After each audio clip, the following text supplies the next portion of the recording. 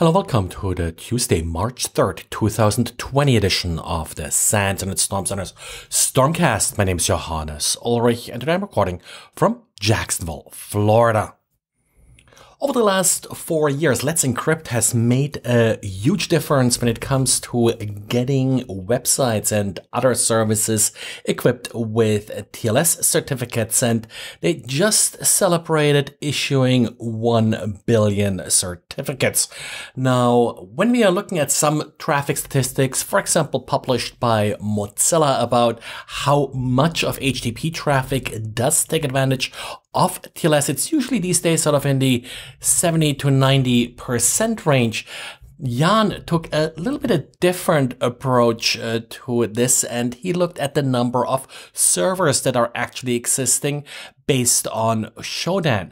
Now, this is a very different picture because many of these servers that Shodan discovers aren't necessarily meant for public consumption, don't have sort of any real traffic to them.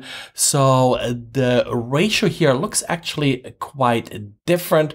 What Jan found was that over the last few years, the percentage of websites that still use HTTP and not HTTPS was about 42%.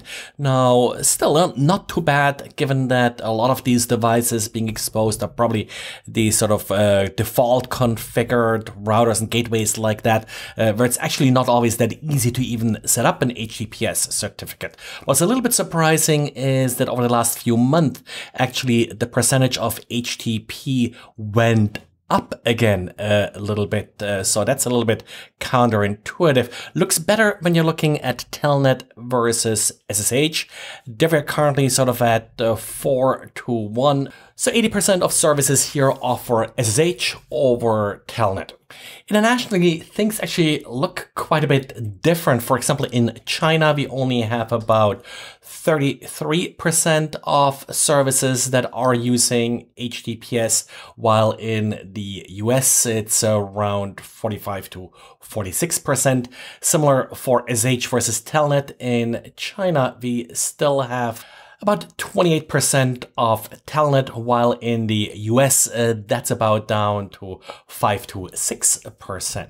Part of this may also be that uh, some countries like China, for example, tend to use cheaper devices, which of course are less likely going to support encrypted protocols like SSH and HTTPS. So it may not just be sort of a political issue with some restrictions on encryption. And Checkpoint open sourced, uh, I think, a pretty amazing resource, and that's an evasion encyclopedia.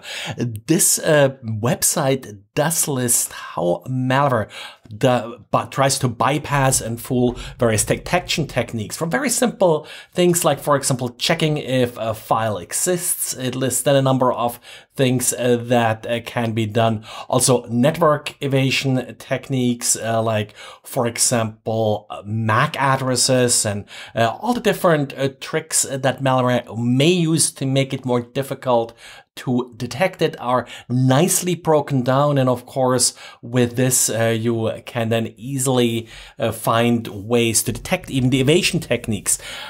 Checkpoint open source this and uh, also set up a GitHub repository so uh, you can contribute uh, to this project. Overall, uh, looks quite nicely done and something that I hope uh, people will find useful. And talk about open source and free things. Empire has released version 3.1. With this now you get a multi-user collaboration API and also updated versions of Mimikatz and various other sort of expanded and updated functionalities. And OWASP released Threat Dragon. I have to yet play with this, but sounds like interesting project. It's supposed to help you with threat modeling. It's a cross-platform application that allows you to do system diagramming and uh, other things are helpful for threat modeling. Supposed to have a pretty neat user interface from what I've seen. In the past, I've used uh, Visio a lot for this and Microsoft has some nice sort of threat modeling plugins uh, for Visio, but uh, it will be interesting to play with this. So if you have any experience with Threat Dragon for threat modeling, please let me know. And SANS put together a new webpage, sans.org slash free with, well, all the free stuff that SANS has to offer. Particularly interesting here, of course, uh, the podcast is listed, but also a number of scholarship and community programs that can get you free or at least highly discounted SANS training. So if you're interested in that, uh, sans.org slash free. And oh, and by the way, yes, uh, there are also four WordPress plugins that uh, can get you pwned, but uh, well, uh, we are done with that. Uh, that's it for today. Thanks again for listening and talk to you again tomorrow. Bye.